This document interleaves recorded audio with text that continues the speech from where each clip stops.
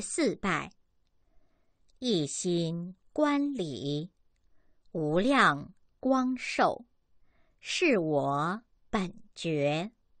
起心念佛，方明始觉。托彼依正，显我自心。实本不离，直趋绝路。暂而相违，便堕无明。故知正变之海，遂入众生心想。极光真净，不涉一切情迹。微妙难思，绝代圆融。阿弥陀佛。南无阿弥陀佛。一心观理，无量光寿，是我本觉。这就是讲的三觉。三觉是本觉、始觉、究竟觉。人人都有个本觉，一切众生。也都有本觉，但是众生，因为他迷了吗？他成了众生了吗？就不觉。这众生是不觉，他没有觉悟。他虽然本觉是跟佛一样，但是现在他完全就为追求。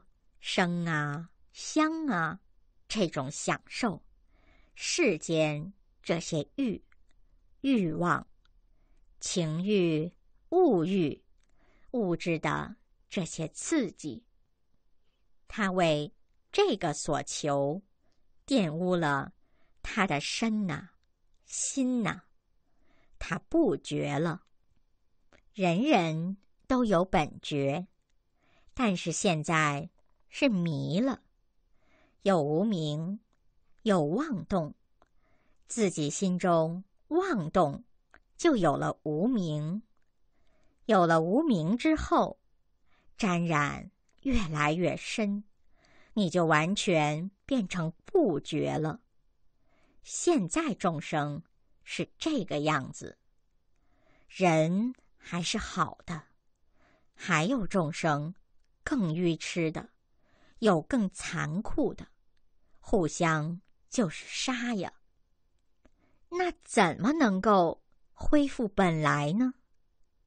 所以，因为本觉人人都有，但是他不觉，不觉之中，怎么才能够恢复本来？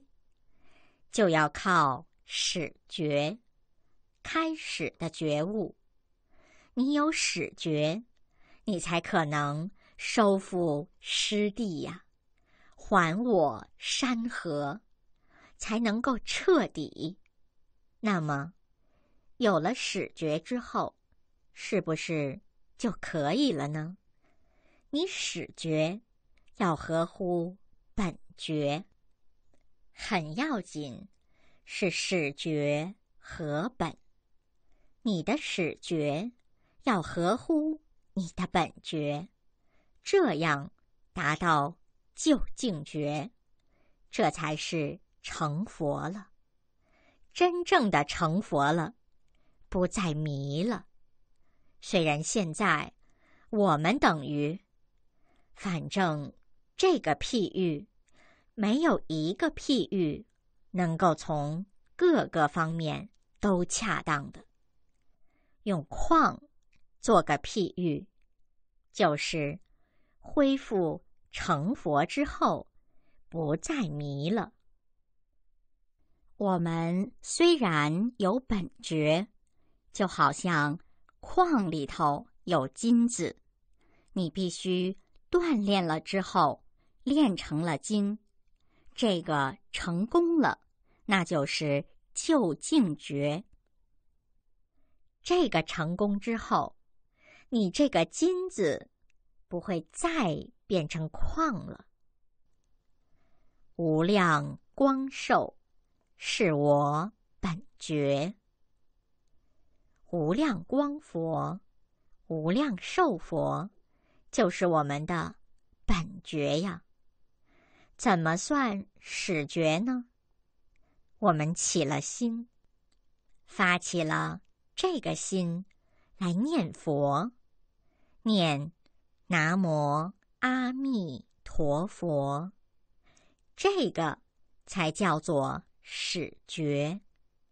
所以，一般的，你信了佛，还不足够，完全能够成为始觉。这个念佛是很重要啊。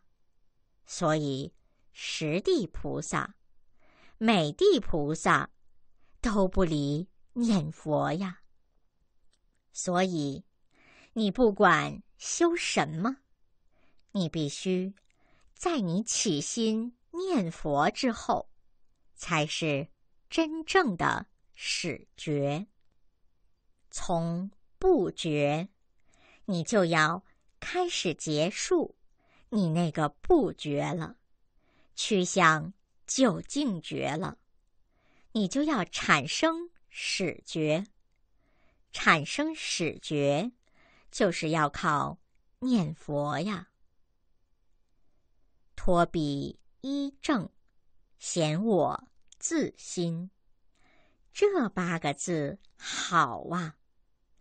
我们借托，要靠，托靠啊，借托，靠彼土，就是托比比土。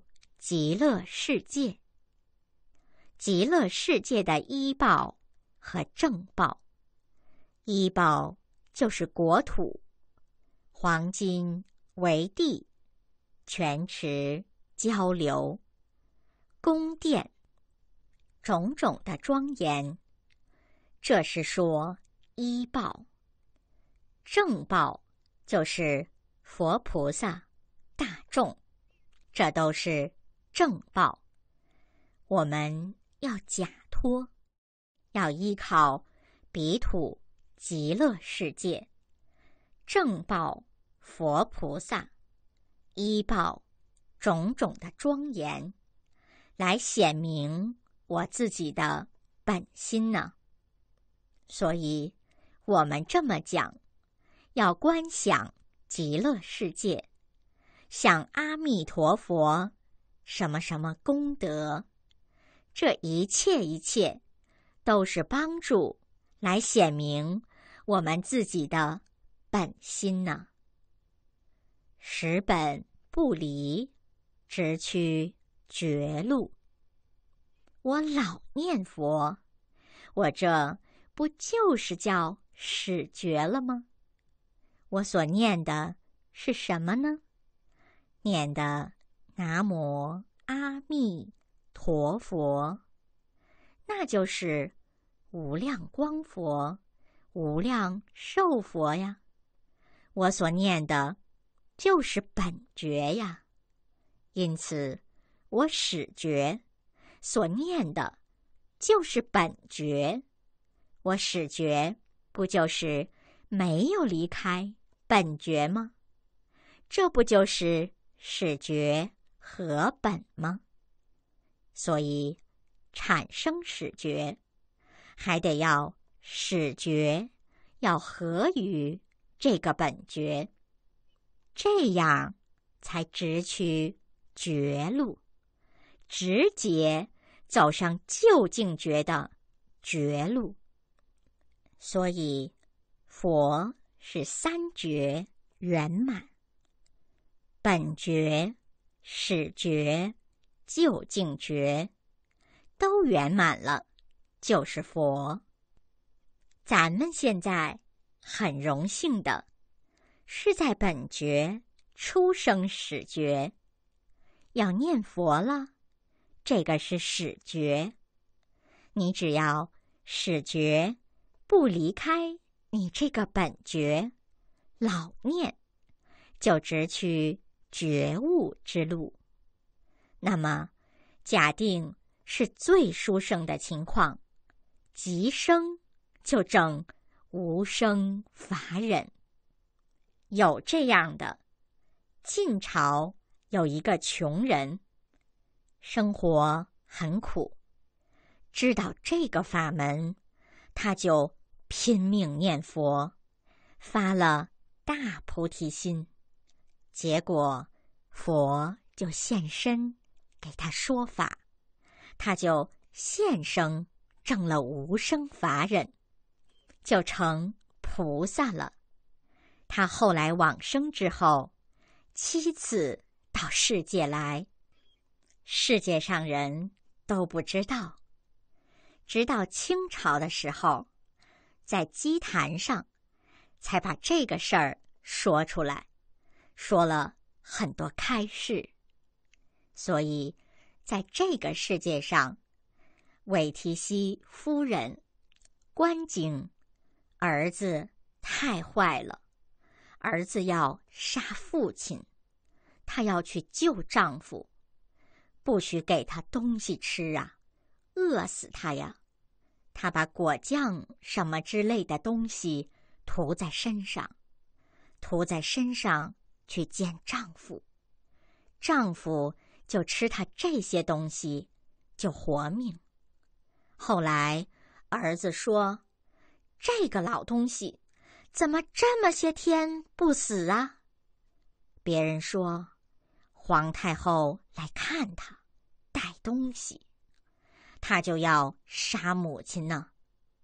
大宰相说：“我不干了，自古有杀父之国王，还没有杀母的国王，我不给这样的皇帝当宰相了。”他才。没有杀，皇太后很苦啊，就求佛呀，佛就来了，给他说法。于是他见到极乐世界，他当时正无生法忍，儿子太坏了，所以就是我们这个念佛，不是说。只有在往生、临终，不过绝大多数是如此，在临终才能显现的。极特殊的，你可以证到是一心，那就把见思惑就断了；证到理一心，就破无明了。破无明。有四十几个层次啊，所以华严是从实住、实行、实回向，每一个都是十三十个位次，这是三贤。从初住起就开始破无明，里头再有三十个位次，到初地。那又十个位次，然后等觉、妙觉，最后一分无名破尽，才成佛呀。所以破无名也不是一下子破了无名的人就应该都是一样，那很不一样，还有四十多个不同的情况。一层一层的，就好像我们一个铜东西，把它擦一擦，露出一点本来的铜的光，那你可以高兴啊，你认为你是擦得出来的。但是这擦的过程，那还要慢慢的、慢慢的，还有。四十多个位次，所以，我们只要是就近觉，那全部擦干净了，全部无名破尽了，十本不离，就直趋绝路，暂而相违，便堕无名。暂而，这么很短的时间，你这个始觉和本觉分家了，相违就是分家了，彼此相悖，没有去和本觉，就马上堕落在无明里头了。无明就是不觉了，就是迷了。所以，我们要成就的话，就要破这四十多品无明。在修行过程之中，所以无名就是要破除。我们修行就是行和解要并重，解而不行是增长邪见。我只是去研究，看了很多书，懂得很多东西，我到处给人讲，而并没有按佛所说的去做，这叫做解而不行。解而不行，你所进步，你所增长的是什么？只是一些邪见呢。那并不是正见呢。行而不解，有的人就只知道念，什么也不懂。这个什么都不懂，很危险呀。很多人他念佛，他说：“我念一句佛，死后多个元宝。”他的愿就是死后。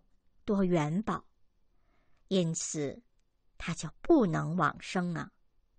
将来就是满他的愿，他就元宝多一些呀。佛都不勉强你，你的心愿，除非他放弃了。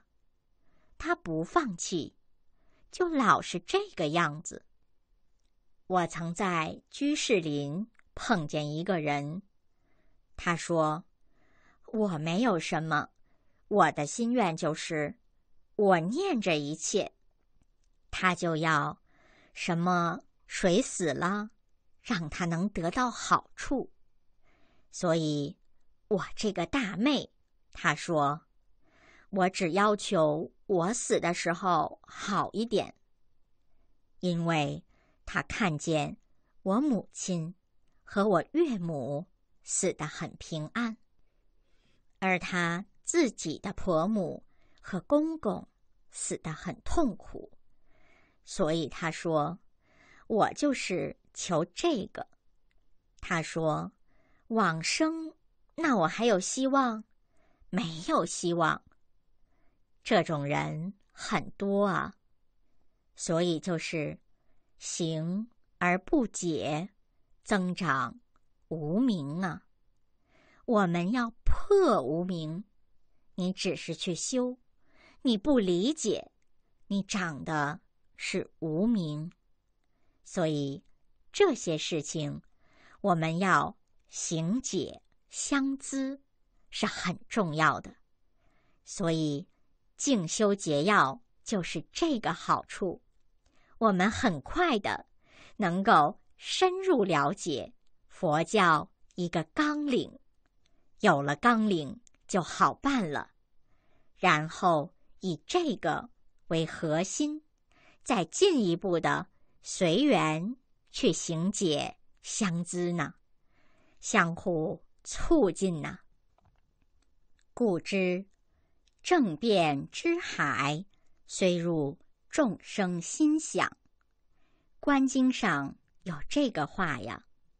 诸佛的法性身，便入一切众生心想。后来又说是正变之海，从心想生。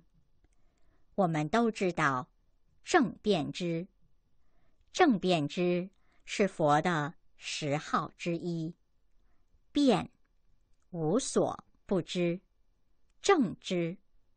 这个正辩知，所知者如海呀。这个正变之海，就进入到一切众生的起心动念。不但是佛，观世音菩萨都是如此的。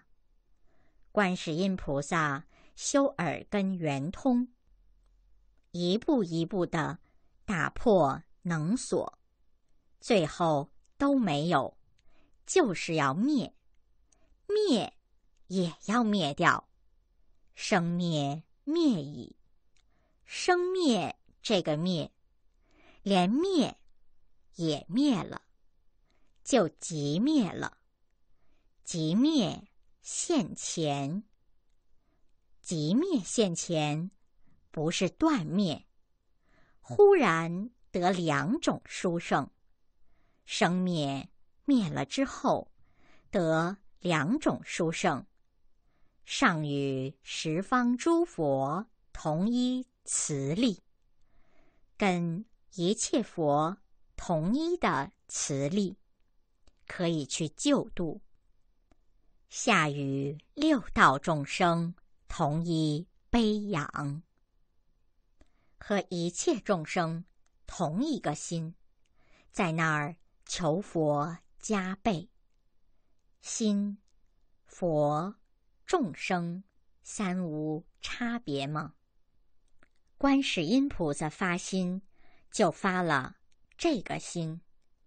正的果也是如此，就是与十方诸佛同一慈力，与六道众生同一悲仰。所以众生如果求救。观世音菩萨马上就可以解决，感应了，马上就知道了，同你的悲仰。但是，他有同一磁力，有如来的磁力，磁力就到你身上了。所以，这个寻声救苦、念观音灵验得救的人。多到不可说，现在还是多得很呢。正变之海，遂入众生心想。可是大家要知道，极光啊，长极光土啊，是真实的净土，它不牵涉一点点的咱们这个情和记呀。众生是情想啊，都是一些考虑呀、计算呢，不牵扯一丝一毫的情迹。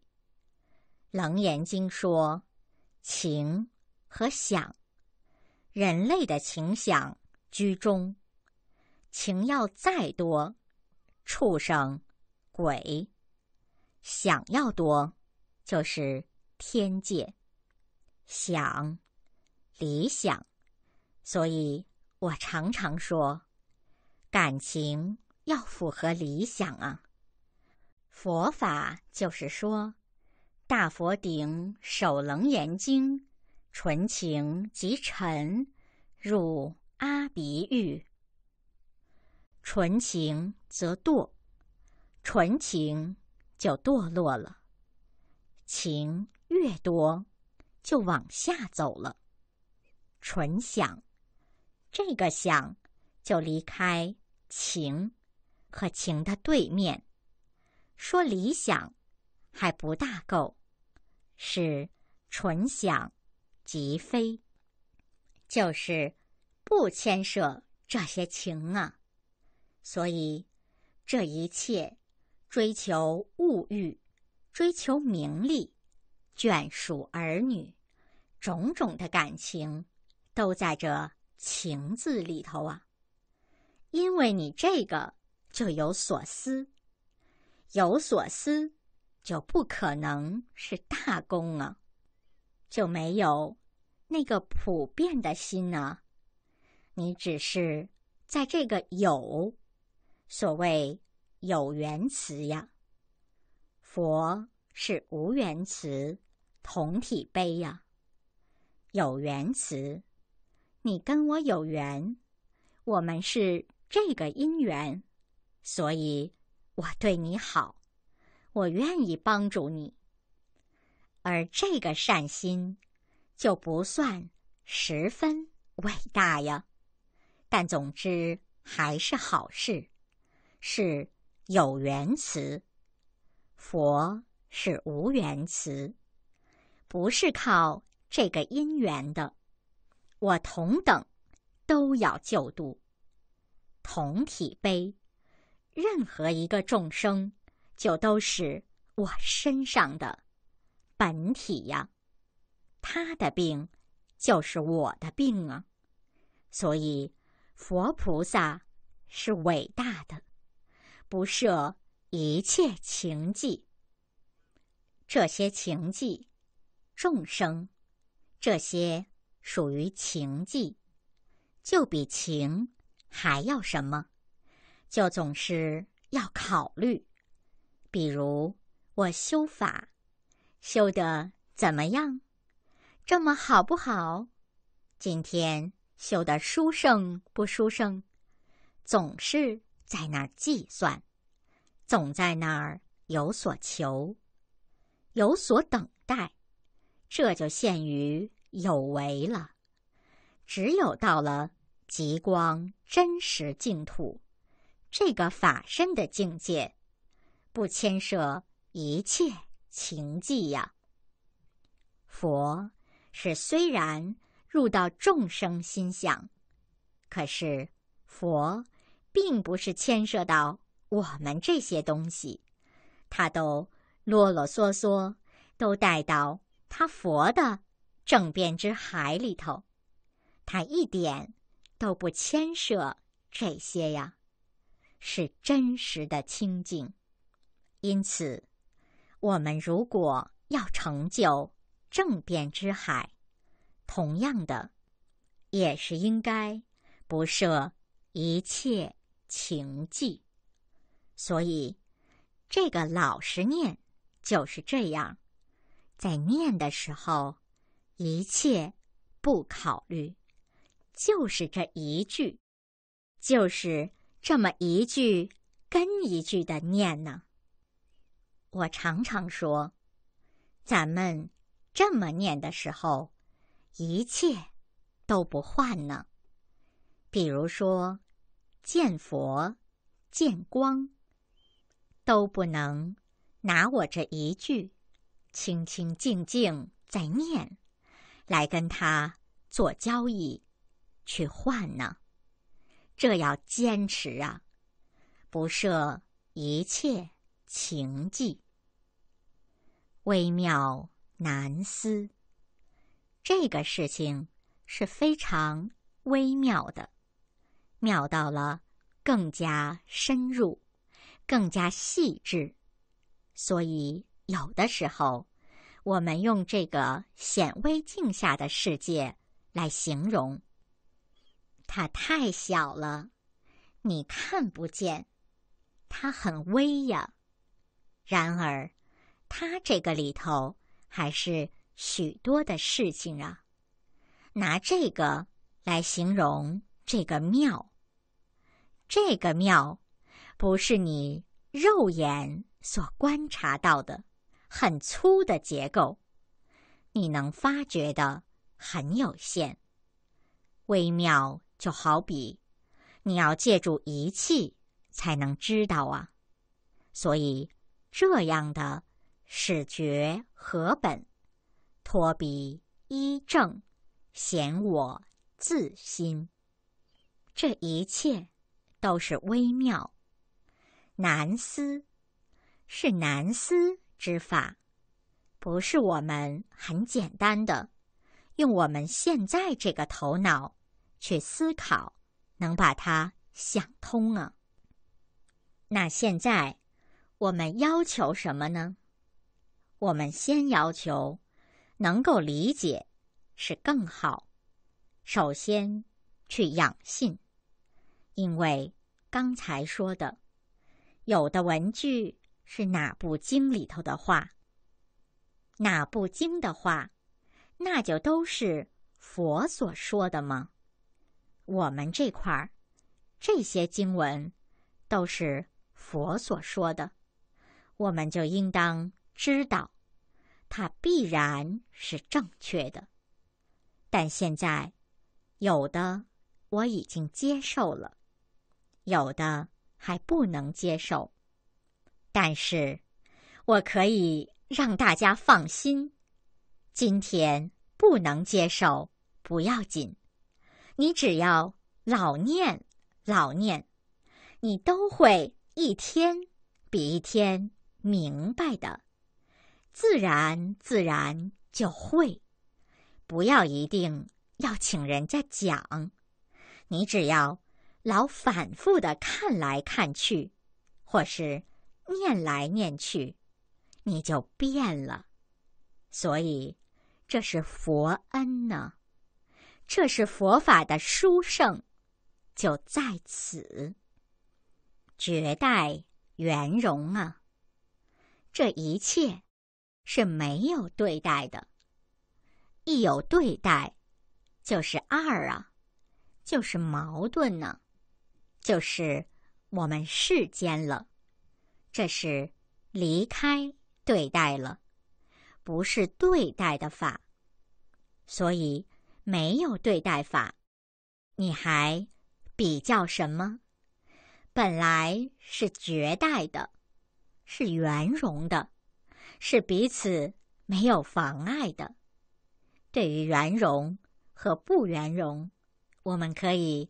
做一个比方吗，水，你可以往什么样的容器倒进去，它都是恰当的，都很合适。同样的水，电冰箱里头冻成一块冰，你这块冰，你搁在什么容器里头，它都不合适。有的搁不进去，有的搁得进去。也不恰好，那么这个水，它就是圆融啊；这个冰，它就不圆融啊。那么，这个冰和水的差别在哪儿啊？它就是多一点寒气，它凝结了，去掉了这个使它凝结的这点寒，它就是水了。所以，这就是这样，这一些是绝代的圆融。